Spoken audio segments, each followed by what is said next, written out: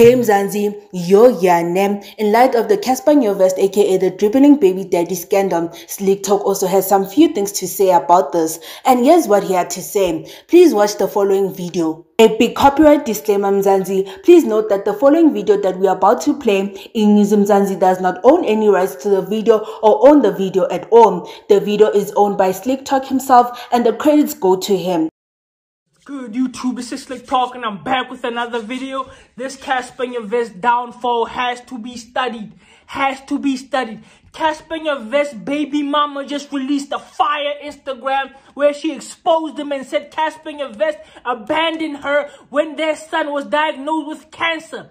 Diagnosed with cancer and the kid was eight months old. Eight months old. Cassper Nyovest say it ain't so.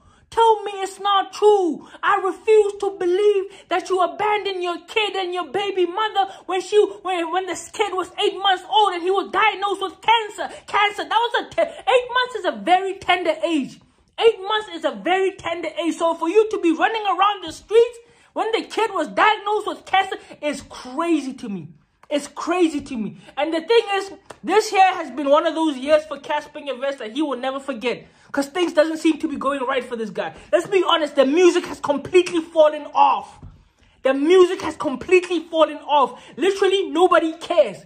Literally, nobody cares. I tried to play Cassper Nyovest music at a family event the other time, and people were saying, turn it off. And I'm like, I just want to play some, you know, maybe, I was, I was trying to, like, get the mood right, and they were like, no, no, no, no, turn it off. This guy's career has, this year has been one of the worst years for Cassper Nyovest. And so for you to tell me that you abandoned your kid when he was eight months old and he had cancer, and you were running around the streets with Abu Pearl Thusi, and the thing is, when I look back, Nyovest kid is, was born in 2020 during lockdown. Eight months down the line, that's like 2021. And 2021, Cassper Nyovest was Twitter fingers. He had the song Siyathandana and he was talking shit. He was talking shit on the gram, on the eh, on the tweets. He was talking shit. He was flashy. That's around the time when he bought that car, three million, three million rand car, McLaren.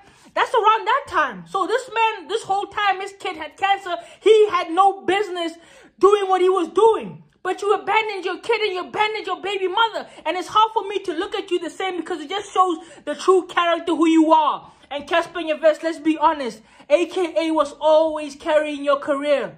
AKA was always the source of your career. He was the one holding you down. He was the one keeping you relevant. And ever since AKA has not been around, your career has never been the same. Your career has never been the same and it will never been the same because nobody cares about the music because the music was never that good and it's coming to real coming to the forefront that you were never really a nice guy to begin with.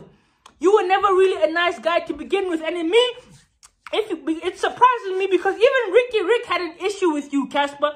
Let's be honest, like Riky Rick had an issue with you. Riky Rick wasn't feeling your energy like that. I remember the first time Riky Rick reached out to me, it was after a video I made about Cassper vest, And Riky Rick said he, I, everything I said in that video was factual. And this was back in 2020.